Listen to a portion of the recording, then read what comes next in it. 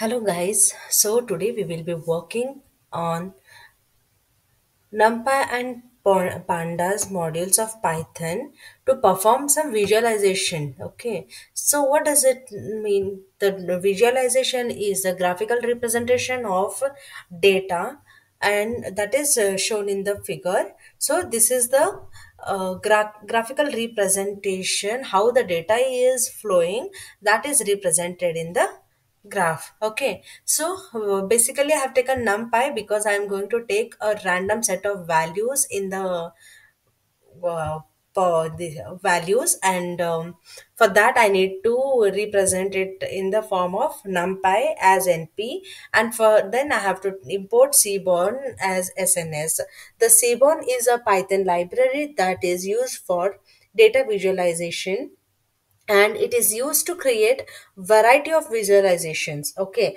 Like seaborn is having multiple uh, uh, plotting gra- of the graphs like scatter plotting hi- histograms heat map pair plots and uh, pair plots. So there are so many plotting of methods uh, present in the seaborn so to perform this all plotting of the graphs it is necessary to import seaborn so uh, these are the examples i told. The scatter plotting is the plotting of the graph in the representation of dots okay? So uh, the dots represents the relationship between the x-axis and the y-axis similarly histograms. The histogram function makes it easy to create histograms and you can modify the charts okay appearance by changing the functions of the parameters. Whenever the functions uh, are appeared in the uh, parameters that then the graphs can be modified. So that is how the histogram performs operation.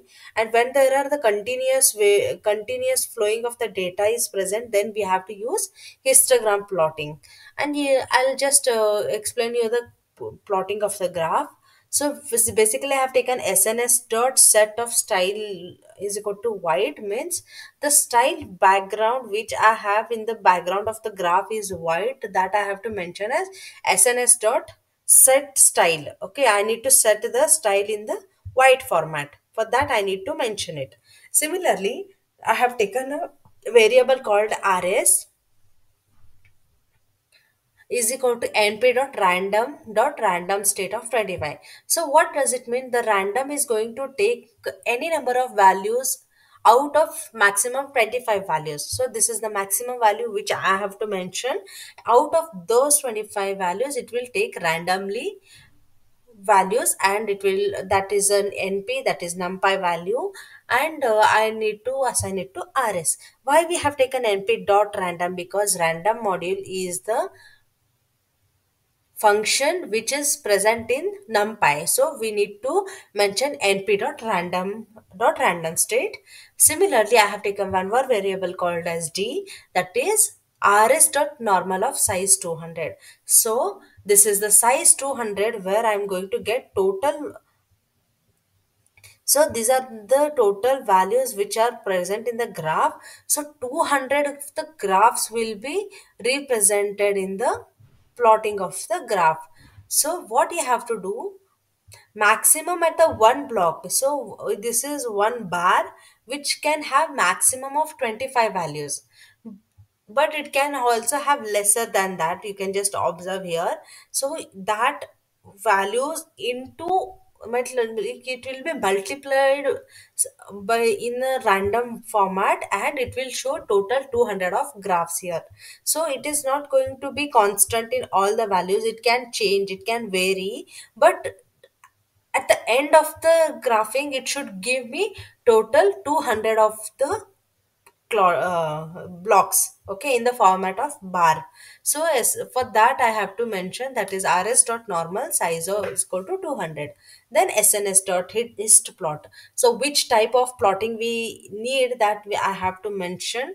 That is hist plotting i want. So i have mentioned hist plot d. The total data which i want to plot that i have to mention here in the method. And kd is equal to true. Kd is nothing but uh, it is a kernel density esteem value that is uh, should be made true because that is going to give me the uh, outer layer of graph how as it is showing here. So that uh, if i make it true then it will be coming uh, it will be showing on the top of the bars. Okay. Then color r i have to mention because i wanted that graph to be in the red color. If i want to change the color i just have to change the name here if i want to represent it in black or blue. So if I want to represent it in the color of blue, then I have to mention it is in blue, B. But what if black is presented? Then you can't mention B only because as it is already stored B in the form of blue, then uh, the black is represented in the format of K. So whenever you change the color to uh, name to K, then it will represented in the black color. Okay. Hence, if you have any confusions, you can directly write the complete name as blue, B, B-L-U-E blue, B-L-A-C-K black and all you can represent. Okay. Similarly, I have uh, continued with the scene, uh, Seaborn mo- module where I'm going to set the style as white and uh, rs is going to np dot random random state of 10 means in each block i can uh, represent maximum of 10 values out of 10 uh, sorry uh, and uh, the total size i want to represent graphs there 100 okay then i want to represent the colors in red green and blue. These are the optional values which it can take any value. And sns dot distplot d. So the whatever the maximum value i have given that i have to present in the dist plot. Uh, kde actually dist plot i have above i have used a hist graph where I'm going to use at the next point is dist plot. Actually, the latest graphing uh, which is used in the um, like industry the, or the in the actual it is histogram. histogram is the older version of um uh, histogram, but I just wanted to show you how the graphing is done. I just used it, but uh, in practice you always have to use histogram. Okay, that is hist plotting now d is equal to k, uh, uh, this value and kd is that is uh, kernel density uh, estimate value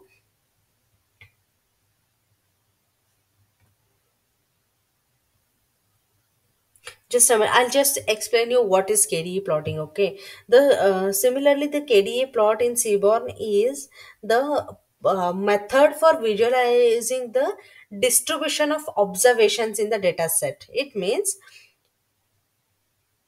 there are some distributions given in the values that will be uh, that observations in the data set in the format of histogram. So that visualizing in the uh, the distributions is done by the kde method. Okay.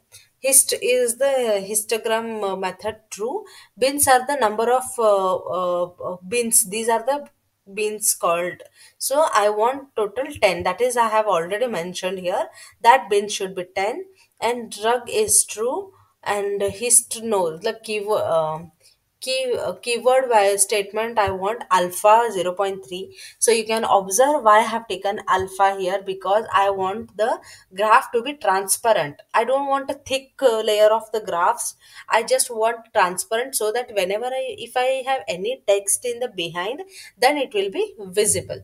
For that it is required. And color i can mention any in one if it can be either mentioned in the name like rgb or it can be used within the co- code format also.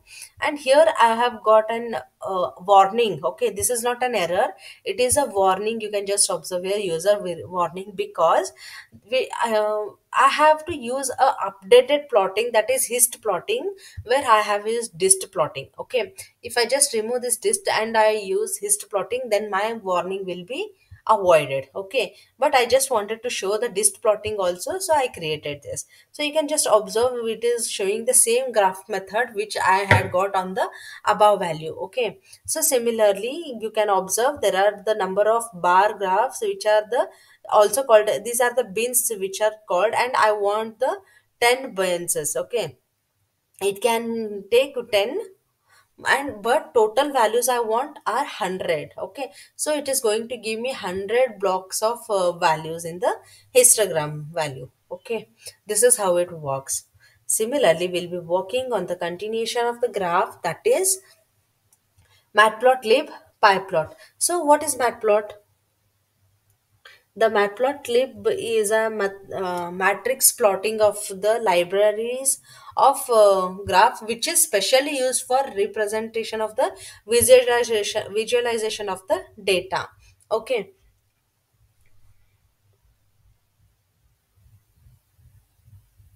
So i have taken a variable called x and y In X, I have given set of string values like Sunday, Monday, Friday, Tuesday, and all. And in Y statement, I have given five, six, four like uh, string val- uh, integer values I have taken. This includes both the full integer value or float values. Okay. then axis axis is nothing but axis like uh, x axis y axis i have to represent. So i have mentioned x for that. Then sns dot strip plotting. So i am going to take a strip plotting. Why we have to use strip plotting? Because uh, when we are using a scatter plotting the scatters will be overlapping on the each other. Sometime it uh, occurs when uh, the huge data which is uh, having similar representation. So when they are representing similar data it will it is obvious that all the scatters will be overlapping each other and it will be very difficult for the user to visualize or understand the graph. So for to make a particular size or a particular distance between each and every scatter uh, we have used strip plotting. Okay you can just observe in the graph uh, access set x label is equal to days and y label is equal to amount spent.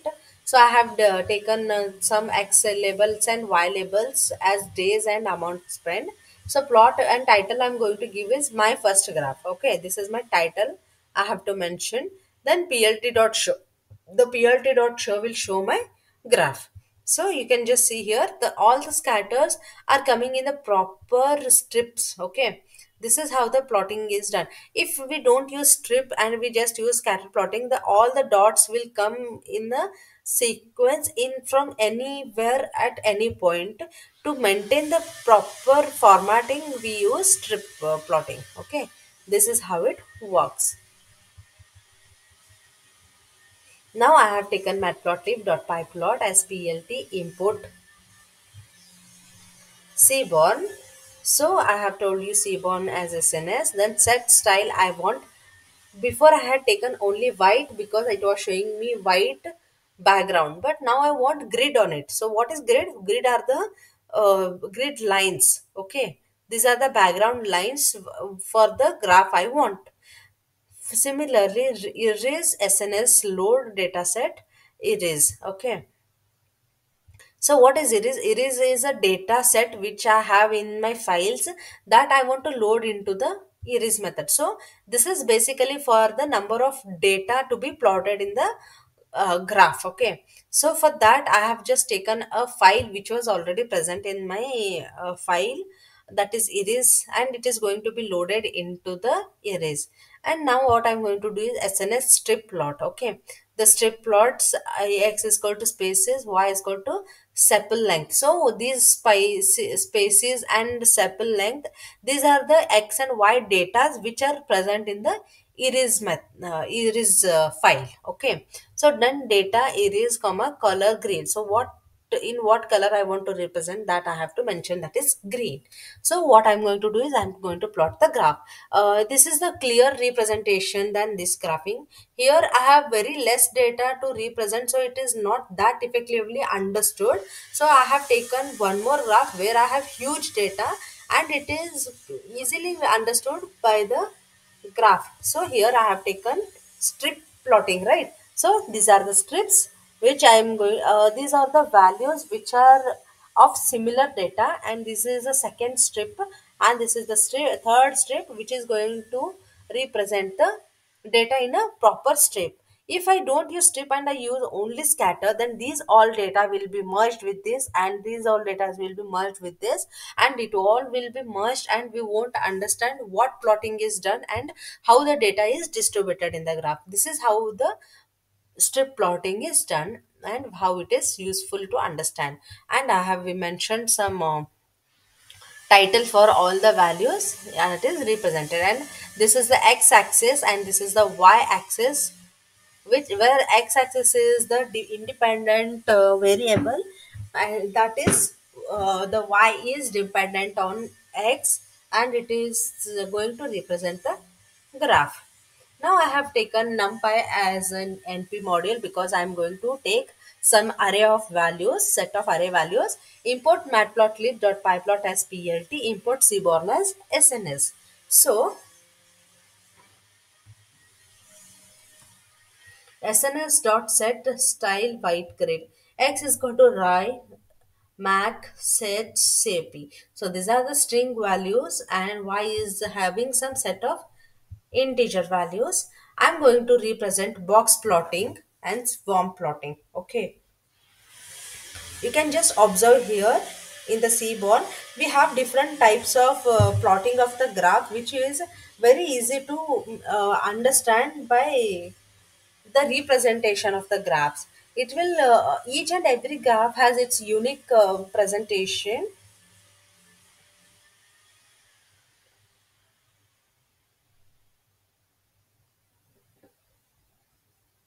So I have taken uh, axis for the representation of x-axis and y-axis and I want uh, the x and y both values to be in the box plotting and uh, swa- uh, swarm plotting of y. Okay. So you can just observe here. This is my block box plotting. It the name itself represents its look it looks like the box of the values where it is going to uh, take set of data. And this is the swarm plotting of the graph okay? Swarm plotting is nothing but it is the one method of scatter plotting. So why do we use uh, box plotting? So, the box plotting is to show the distribution with respect to the categories. A box plot shows a distribution of quantitative data in a way that facilitates com- comparisons between variables and across the level of categorical variable. Means it is going to get uh, take me all uh, sorry it is going to show me the distribution of the numerical data values. So you can observe here uh, I have taken some values here 10 20 23 and 30 so this all the distributions can be represented in the box plotting.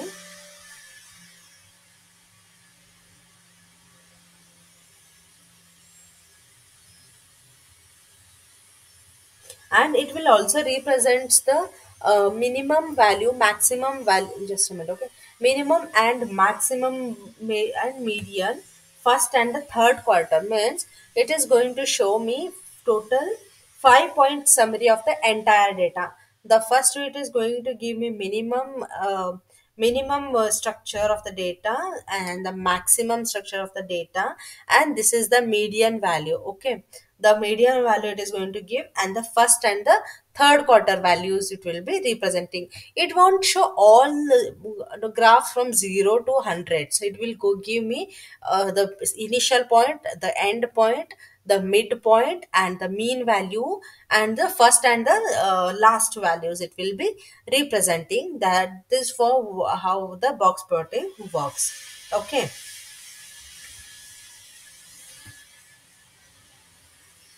Similarly, the uh, swarm plotting is used, it is the rep- similar representation as scatter plotting. Okay.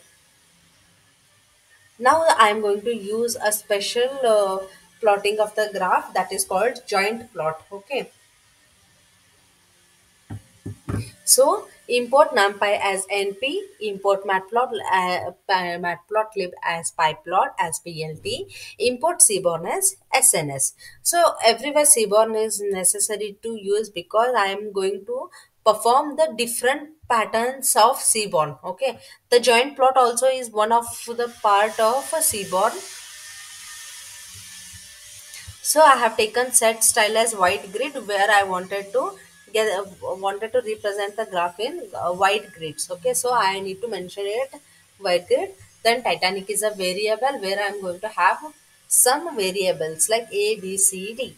and x and y axis i have taken that is raw max and y is the integer value so what i'm going to do is i'm going to jo- use joint plot so how joint plot works i'll just show you. And i'm going to take x and y variables in the joint plot and i'm going to plot the graph so this is how it is represented. You can observe here in the middle of the values, I have got scatter plotting of the graphs and the joint plot is the point which is going to give, it, it is going to take the graphs at the top of the axis and at the right of the axis.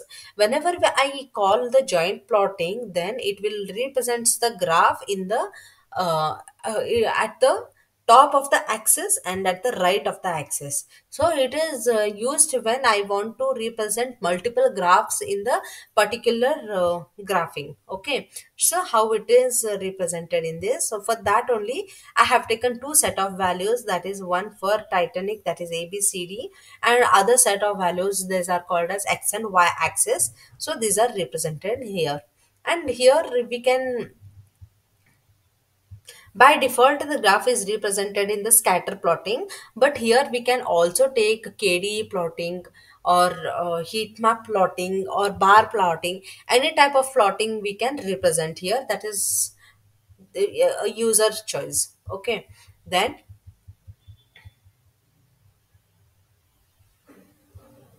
now i am going to take import matplotlib, uh, uh, sorry import uh, numpy as np import pandas as pd and import seaborn as sns so what i have done y and z are the two variables where i'm going to take set of integers and string values. And i'm going to take a pandas uh, data frame x comma uh, sorry y comma z. Why i have taken data frame? I'll just explain you at the next point. And what i want to do is i want to represent the heat map. Okay. The heat map is the important concept in the uh, seaborn which is most of the time used in the values. So what is heat map? The heat map are the different uh, representation of uh, graph in the color code okay? So you can observe here all the graphs are represented in the different color mapping okay?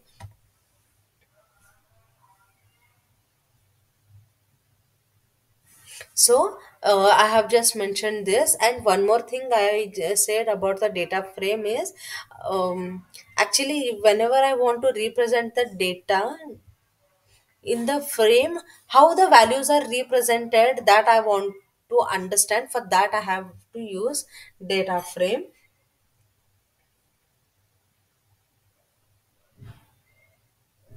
the term heat map usually refers to uh, this Cartesian plot with data visual, visualization as colored rectangular tiles. So you can observe these are the colored rectangular tiles. Okay, so these are the these looks like tiles. I'll just just show in the further graphing how they look, and these are the uh, uh, concept of subject which is representing the actual values which I have represented as y and z.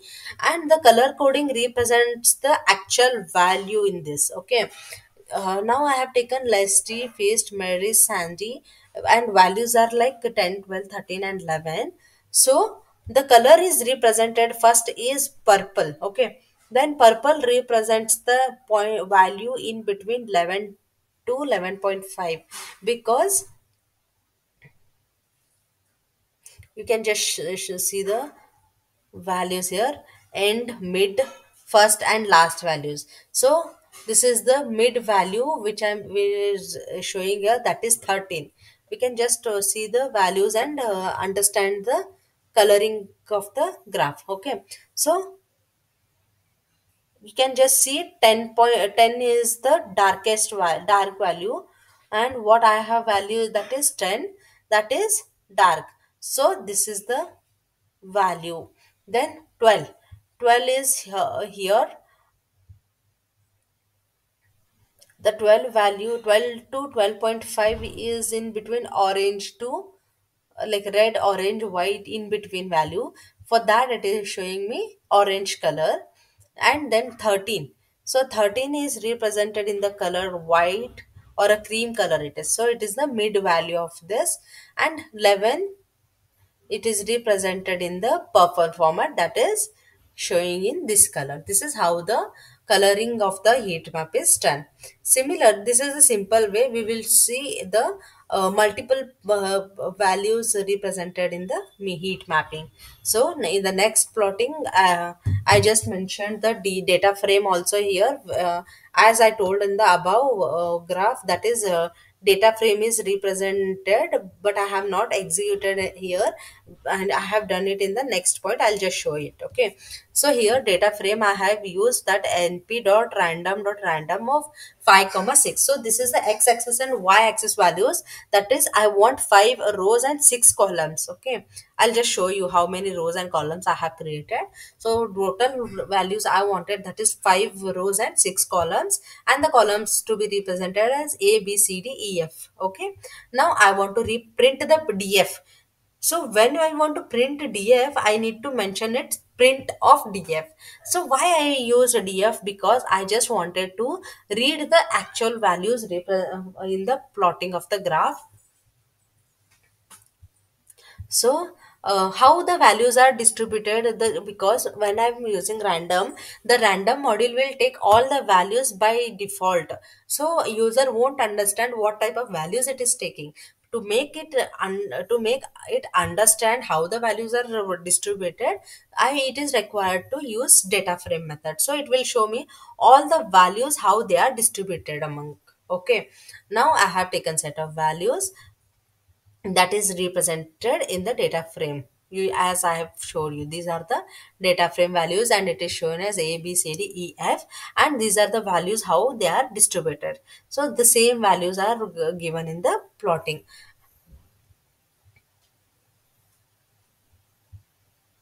So this is how the heat mapping is represented. That is pl sns dot heat map of df so whenever the dark points that is showing these all are the uh, lower values 0.2 to 0.4 it is going to give me all the dark values and 0.4 to 0.6 it is going to give me the uh, red color and 0 to 8 6 8 to 8 it is going to give me lighter color that is orange and after that it is going to give me complete light color that is white or cream color. So this is how the mid value median value max value first value and last values are represented in the scatter plotting Similarly, uh, have taken the data frame uh, for the random values. For that, I need to use NumPy and Pandas. NumPy is to because we are going to use random method, and uh, Pandas is for uh, I am going to create a data frame. So for that, this is necessary. And heat mapping, at least I have to uh, call with the Seaborn, but in the previous line we have already called the Seaborn method, so it is not necessarily used here. If we are using at the first time, then it is necessarily we have to uh, import the Seaborn module. Then uh, it is the five and six uh, rows. I have told you so five rows. That is one, two, three,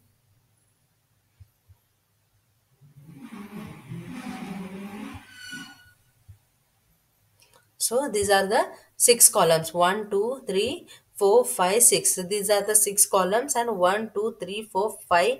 These are the rows. One, two, three, four, five are the rows and one, two, three, four, five, six are the columns you can observe here. Similarly, what I have taken, I have taken matrix of values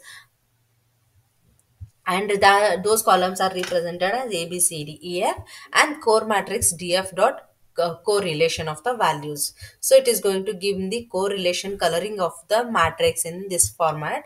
You can observe. So this is how the plotting is done. All the lower value, uh, sorry, smaller values are represented in the light color and the higher values are represented in the dark colors. This is how the heat mapping is done.